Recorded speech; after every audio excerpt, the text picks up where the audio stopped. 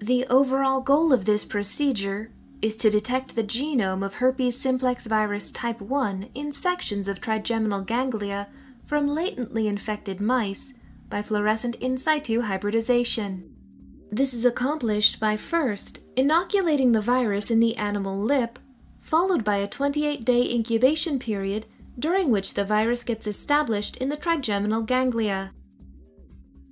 Next, the trigeminal ganglia are harvested, embedded, and cryosectioned.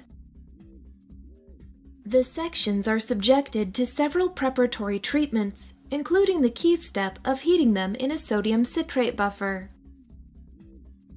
Finally, fluorescent in situ hybridization is performed using herpes-specific fluorescent probes. Ultimately, results can show the positioning of the viral genome inside the nucleus of individually infected neurons through the use of confocal microscopy.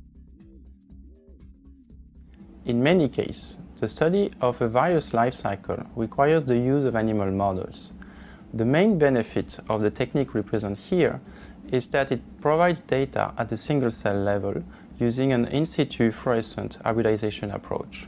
The Euromolecular model of HSV infections reproduces most of the aspects of the natural history of HSV1 infection in humans, that is, the natural host of the virus.